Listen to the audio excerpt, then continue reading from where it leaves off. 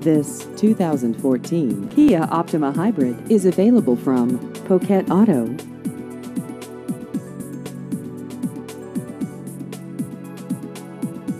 This vehicle has just over 8,000 miles.